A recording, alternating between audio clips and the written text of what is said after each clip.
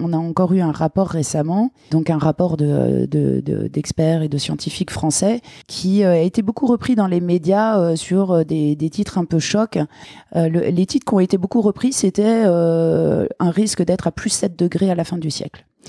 Moi, ce qui m'a beaucoup marqué dans ce rapport, c'est pas ce chiffre-là, c'en est un autre.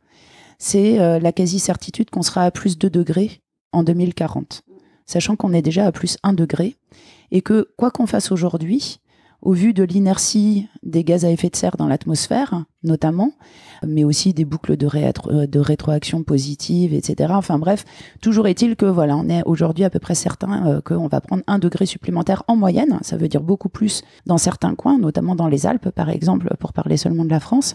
Donc en 2040, donc euh, demain, hein, dans, dans 20 ans, on aura pris un degré supplémentaire.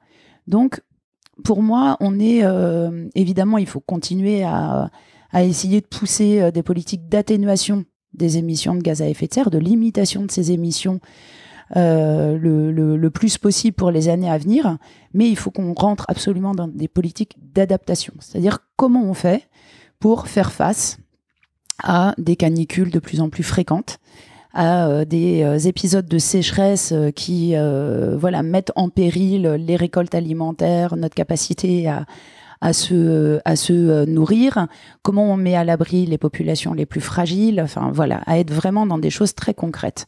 Voilà, j'ai pas envie de raconter des histoires aux gens. J'ai pas envie de dire il faut qu'on qu'on reste en dessous de 1,5 degré. Je pense que cet objectif-là, il est mort. Mais ça veut pas dire que la lutte s'arrête. Euh, parce que en fait, il y aura toujours un dixième de degré à aller sauver, euh, une espèce d'invertébré, euh, un hectare de terre agricole non bétonné. Donc des combats, il continue à y en avoir beaucoup, avec vraiment des impératifs de sobriété et de décroissance en fait, sans lesquels en fait on, on ne s'en sortira pas. Mais ça veut dire des changements profonds et ça veut dire surtout des changements qui, plus on attend, plus plus ils seront brutaux quoi.